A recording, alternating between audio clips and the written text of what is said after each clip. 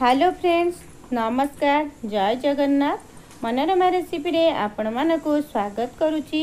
ଆଜି ଆମେ ପ୍ରସ୍ତୁତ କରିବା ସଜନା ଛୁଇଁ ଆଳୁ କଷା। ଯେଉଁ ରେସିପିଟି ଆପଣ ଗୋଟେ ଥର ଟ୍ରାଏ କଲା ପରେ ବାରମ୍ବାର କରିବା ପାଇଁ ଇଚ୍ଛା କରିବେ କାରଣ ଏହି ସଜନା ଛୁଇଁ ଆଳୁର କଷାଟି ଗୋଟେ ଥର ଖାଇଲା ପରେ ଆପଣ ଚିକେନ୍ କଷା ମଟନ୍ କଷା ମଧ୍ୟ ଭୁଲିଯିବେ। ବହୁତ ଟେଷ୍ଟି ଲାଗେ ସଜନା ଛୁଇଁ ଆଳୁ କଷାର ରେସିପିଟି ଆପଣମାନେ ଗୋଟେ ଥର ନିଶ୍ଚୟ ଟ୍ରାଏ କରିବେ। ଯଦି ରେସିପିଟି ଭଲ ଲାଗିବ ତାହେଲେ ମୋତେ ଗୋଟେ ସୁନ୍ଦର କମେଣ୍ଟ କମେଣ୍ଟ କରିବା ପାଇଁ ଜମାରୁ ବି ଭୁଲିବେନି। ଭିଡ଼ିଓକୁ ଗୋଟେ ଲାଇକ୍ ତ ନିଶ୍ଚୟ କରିବେ। ଆପଣମାନେ ଭିଡ଼ିଓକୁ ଲାଇକ୍ କରିବା ପାଇଁ ଭୁଲି ଯାଉଛନ୍ତି। ଚ୍ୟାନେଲକୁ ସବସ୍କ୍ରାଇବ୍ କରିବା ପାଇଁ ମଧ୍ୟ ଭୁଲି ଯାଉଛନ୍ତି। ଆପଣ ସବସ୍କ୍ରାଇବ୍ କରି ମୋତେ ଟିକେ ସାହାଯ୍ୟ କରନ୍ତୁ। ଏଠି ଚାଲନ୍ତୁ ଏବେ ସଜନା ଛୁଇଁ ଆଳୁର କଷା ଆମେ ପ୍ରସ୍ତୁତ କରିବା।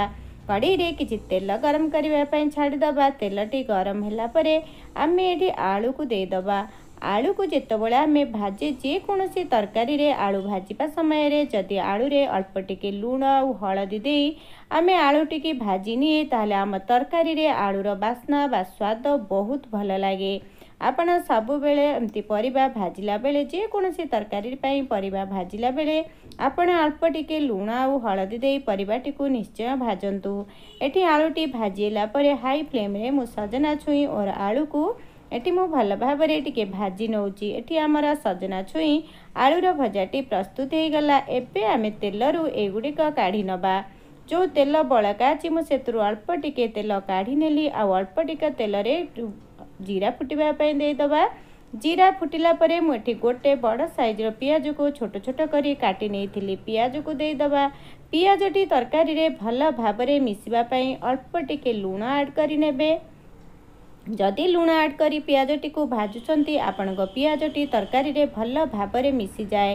ଏବେ ପିଆଜଟି ଭାଜିଲା ପରେ ଅଦା ଆଉ ରସୁଣର ପେଷ୍ଟ ଦେଇକି ଅଳ୍ପ ଟିକେ ପାଣି ଦେଇ ମସଲାଟିକୁ କିଛି ସମୟ ପାଇଁ ଭାଜି ନେବା ବା କଞ୍ଚା ବାସ୍ନା ଯିବା ପର୍ଯ୍ୟନ୍ତ ଅଦା ରସୁଣର ଭାଜି ନେବା ତାପରେ ଏଠି ଶୁଖିଲା ମସଲାରେ କିଛି ହଳଦୀ ଗୁଣ୍ଡ ଲଙ୍କା ଗୁଣ୍ଡ ଜିରା ଗୁଣ୍ଡ ଆଉ ଧନିଆ ଗୁଣ୍ଡ ଦେଇ ଅଳ୍ପ ଟିକେ ପାଣି ଦେଇ ମସଲାକୁ ଆମେ ଏଠି କଷି ନେବା ଆପଣ ଯଦି ଅଧିକା ତେଲ ବ୍ୟବହାର କରିଥିବେ ତାହେଲେ ଆପଣଙ୍କୁ ଏଠି ପାଣି ଦେବା ପାଇଁ ଜମାରୁ ବି ପଡ଼ିବେନି। ଯଦି ଆପଣ କମ୍ ତେଲ ବ୍ୟବହାର କରିଛନ୍ତି ଅଳ୍ପ ଟିକେ ଟିକେ ପାଣି ଦେଇ ଆମେ ମସଲାକୁ ଭାଜିଲେ ଆମ ତରକାରୀଟି ମଧ୍ୟ ବହୁତ ଟେଷ୍ଟି ଲାଗିବ। କମ୍ ତେଲରେ ମଧ୍ୟ ଏ କଷା ରେସିପିଟି ବହୁତ ଭଲ ଲାଗିବ। ମସଲାଟି ଆମର ଏଠି କଷେଇଲା ପରେ ମୁଁ ଗୋଟେ ଟମାଟୋକୁ କାଟି ଦେଇଥିଲି ଏବେ ସେଥିରେ ସ୍ୱାଦ ଅନୁସାରେ ଲୁଣ ଦେଇଦେବା। ଲୁଣ ଦେଇ ୟାକୁ ଭଲ ଭାବେ ମିଶାଇ ଘୋଡ଼ଣି ଦେଇ ଆମେ ଟମାଟୋକୁ କିଛି ସମୟ ଛାଡ଼ିଦେବା। ଏମିତି ଘୋଡ଼ଣି କାଢ଼ି ମୁଁ ଆଉ ଟିକେ ମିଶାଇ ନେଉଛି। ଏବେ ମୁଁ ସେଥିରେ ଅଳ୍ପ ଟିକେ ପାଣି ଦେଇ ଆଉ କିଛି ସମୟ ଟମାଟୋକୁ ନରମ ହେବା ପାଇଁ ଛାଡ଼ିଦେବି। ଏଠି ଟମାଟୋଟି ନରମ ହେଲା ପରେ ହିଁ ଆମେ ସେଥିରେ ପରିବାଟିକୁ ଆଡ଼୍ କରିବା। ଦେଖନ୍ତୁ ଆମ ଟମାଟୋଟି ଭଲ ଭାବେ ନରମ ହୋଇଗଲାଣି। ଆମେ ଏଠି ସଜନା ଛୁଇଁ ଆଳୁକୁ ଦେଇ ଅଳ୍ପ ସମୟ ଏମିତି ମିଶାଇ ନେବା ଘୋଡ଼ଣି ଦେଇ। ଏବେ ଆଉ ଗୋଟେ ମିନିଟ୍ ପାଇଁ ଛାଡ଼ି ନେବା। ଯଦି ମସଲାରେ ଏମିତି ପରିବା ଆମେ ମିଶାଇକି କିଛି ସମୟ ଛାଡ଼ିଦିଏ ତାହେଲେ ଆମ ତରକାରୀଟି ମଧ୍ୟ ବହୁତ ଟେଷ୍ଟି ଲାଗେ। ଏବେ ଆମେ ସେଥିରେ ପାଣି ଦେବା ପାଣି ଦେଲାବେଳେ ଆପଣମାନେ ଏଠି ଥଣ୍ଡା ପାଣିର ବ୍ୟବହାର ଜମା ବି କରିବେନି। ଅଳ୍ପ ଗରମ ପାଣି ଯେତିକି ପରିମାଣରେ ଆପଣ ପାଣି ଦେବାକୁ ଚାହୁଁଛନ୍ତି ସେଇ ପରିମାଣରେ ଗରମ ପାଣି ହିଁ ଏଠି ଆଡ଼୍ କରିବେ। ଗରମ ପାଣି ଦେଇ ତରକାରୀକୁ ମଝିରେ ମଝିରେ ଏମିତି ମିଶାଇ ନେଉଥିବେ।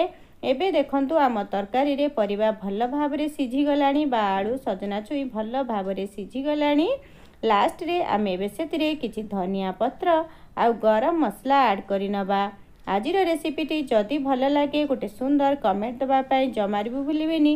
ଚ୍ୟାନେଲକୁ ସବସ୍କ୍ରାଇବ୍ କରିବା ପାଇଁ ମଧ୍ୟ ଜମାରୁ ବି ଭୁଲିବେନି। ଏହି ରେସିପିଟି ଭାତ ରୁଟି ପରାଠା ସହିତ ଖାଇବା ପାଇଁ ବହୁତ ଟେଷ୍ଟି ଲାଗେ। ଆପଣମାନେ ଘରେ ନିଶ୍ଚୟ ଗୋଟେ ଥର ଟ୍ରାଏ କରନ୍ତୁ ଆଉ ମୋତେ କମେଣ୍ଟ କରିବା ପାଇଁ ଜମାରୁ ବି ଭୁଲନ୍ତୁନି। ଆଜିର ଭିଡ଼ିଓଟି ଯଦି ଭଲ ଲାଗେ ମୋତେ ନିଶ୍ଚୟ କମେଣ୍ଟ କରିବେ।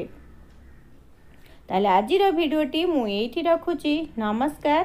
ଜୟ ଜଗନ୍ନାଥ।